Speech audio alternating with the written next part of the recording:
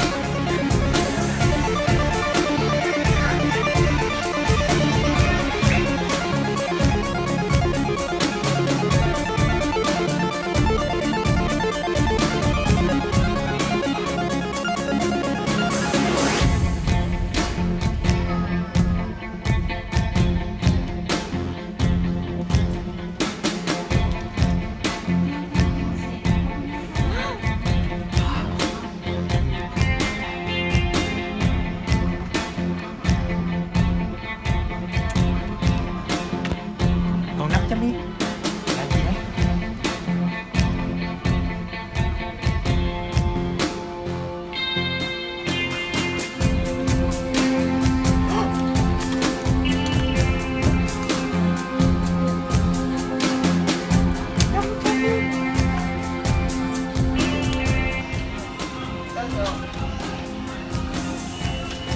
và chúng ta hãy xem là hai bạn này đã mua được những gì nhé. Sau khi lục lọi tìm tòi với một ngàn yên mình đã mua rất rất là nhiều món.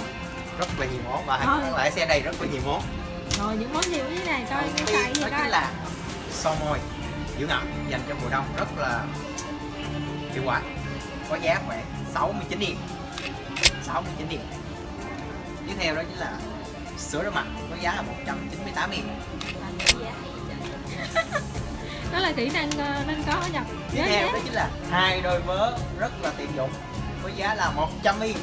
100 yên hai đôi vớ và tiếp theo đây chính là món hàng đặc biệt mà rất là hữu dụng đối với mình. Đó chính là đen. cực kỳ xuân ngầu với giá 500 yên chỉ 500 yên thôi. Và tổng giá đó chính là 867 867 yên quá rẻ. Yeah. Bốn món kiểu này thì chắc là phần thắng đã thuộc về bạn chuột còn về bạn gấu như thế bạn nào? gấu như thế nào cái gì vậy trời? món cái cái gì vậy trời? Với một ngàn yên mà mua có? Cái này giá bao nhiêu? 900 mấy đó không nhớ nữa. Mình không có nhớ giá giỏi các bạn.